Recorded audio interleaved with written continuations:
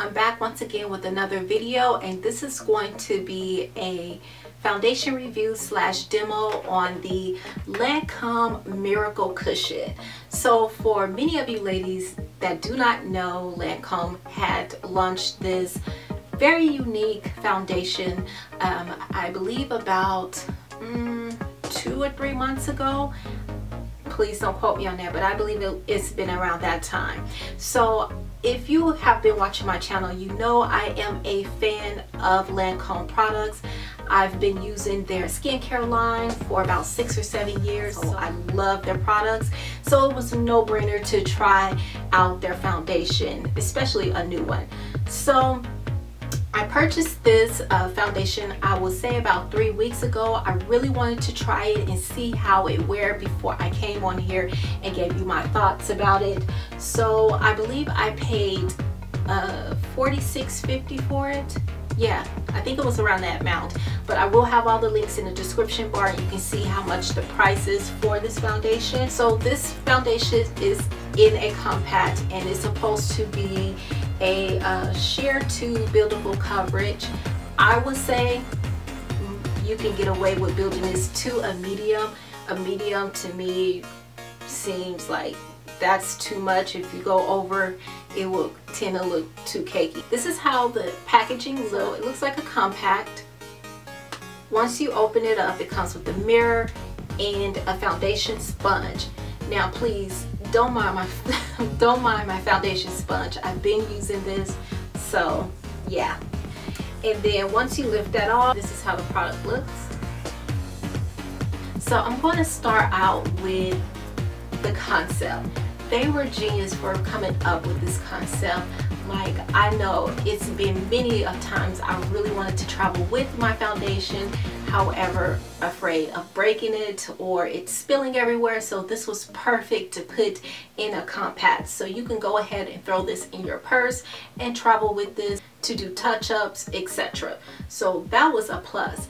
Another thing I like about this foundation is that it is a buildable coverage. It says that you can build it up to a full coverage but I personally would recommend only doing a medium. But it is a buildable coverage it is lightweight and it just looks really radiant. It makes your skin look really really radiant. I love that. Another thing I love about this foundation is that it has so many different colors for uh, women of color.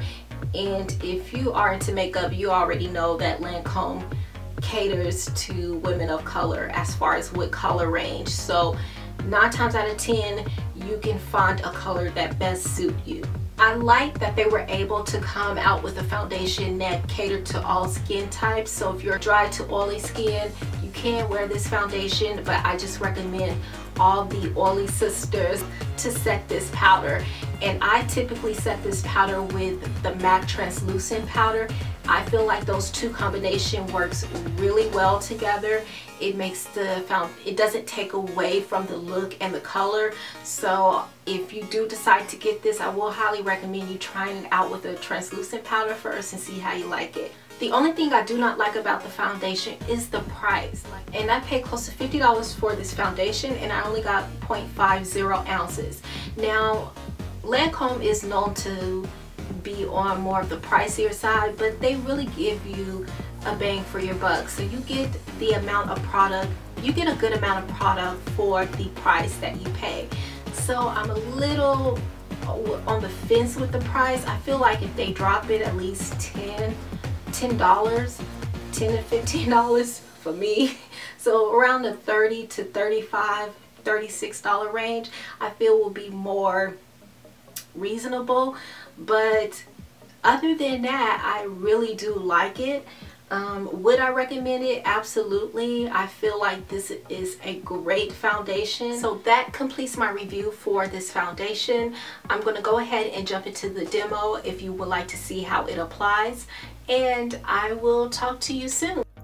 So I'm going to lightly tap it into the foundation and I'm just going to press it into my skin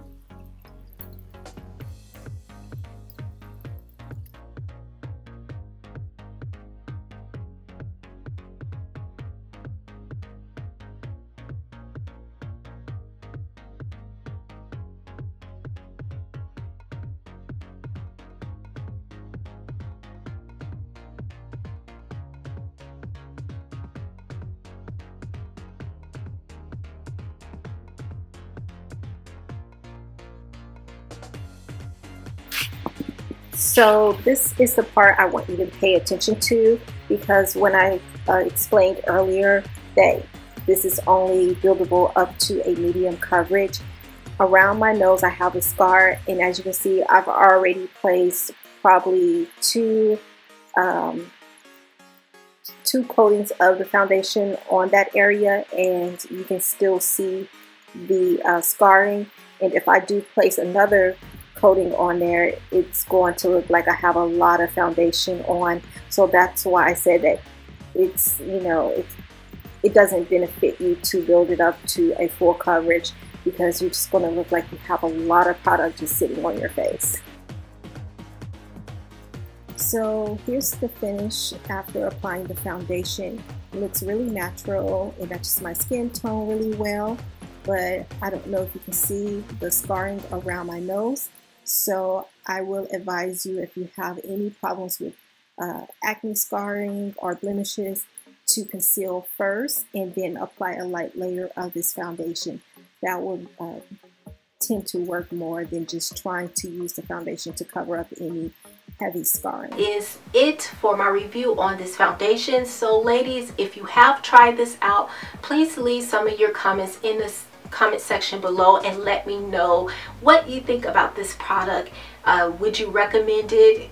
And if for some who don't like it, please put in the comment section the reason for you not liking this product. That really helps other ladies who are browsing this channel to, you know, basically get a feel of different opinions on it. I had no problems with it but as you know everyone has different experience with different products. So the more feedback the better for everyone. So I thank you so much for tuning into my channel. Don't forget to rate comment and subscribe and share this video. So until next time be confident and be your own kind of beautiful and I will see you in my next video. Bye